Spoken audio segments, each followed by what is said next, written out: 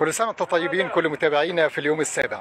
طيب دايما دايما التمور بتتجه إليها كل أهالي محافظة كفر الشيخ. هنشوف أنواع التمور هنا و... يلا اليوم السابع يلا. وكمان الأنواع إيه والأسعار إيه.